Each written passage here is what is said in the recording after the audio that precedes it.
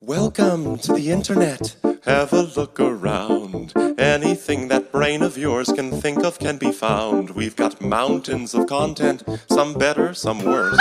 if none of it's of interest to you, you'd be the first. Welcome to the internet. Come and take a seat. Would you like to see the news or any famous women's feet? Yeah, I know. There's no need to panic. This isn't a test.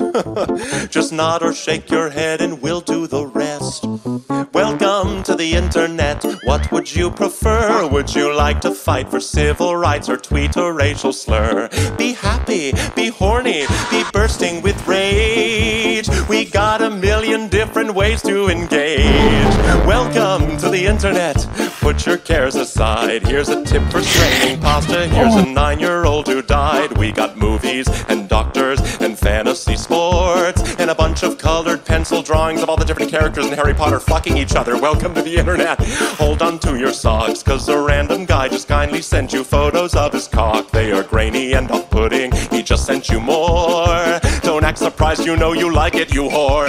See a man beheaded, get offended, see a shrink. Show us pictures of your children, tell us every thought you think. Start a rumor, buy a broomer, send a death threat to a boomer, or DM a girl and groomer, find a tumor in your. Here's a healthy breakfast option. You should kill your mom. Here's why women never fuck you. Here's how you can build a bomb. Which Power Ranger are you? Take this quirky quiz. Obama sent the immigrants to vaccinate your kids.